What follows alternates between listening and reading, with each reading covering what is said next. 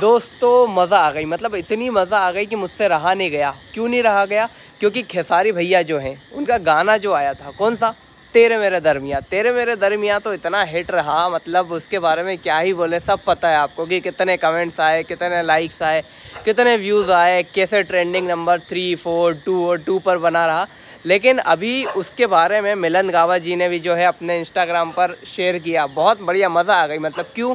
क्योंकि मिलन गावा यार एक हिंदी के सिंगर हैं और हिंदी और पंजाबी में भी गाना गाते हैं वो। और बॉलीवुड में अच्छा खासा नाम है और उन्होंने भी जब खेसारी भैया का डाल करके शेयर किया अपने इंस्टाग्राम पर कि भैया का गाना आया है, ऐसा कुछ लिखा है तो दिल खुश हो गया जान करके।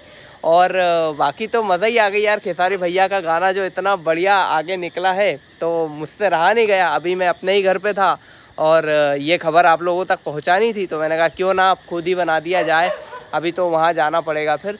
तो अच्छा मैं एक चीज़ और बोल रहा हूँ कि, बोल रहा हूँ कि एक और ट्रेंडिंग में गाना चल रहा है, वो किसका, रितेश पांडे जी का बनारस वाला। तो क्या रिएक्शन वीडियो देखना चाहते हैं क्या उस पर? तो बताइएगा।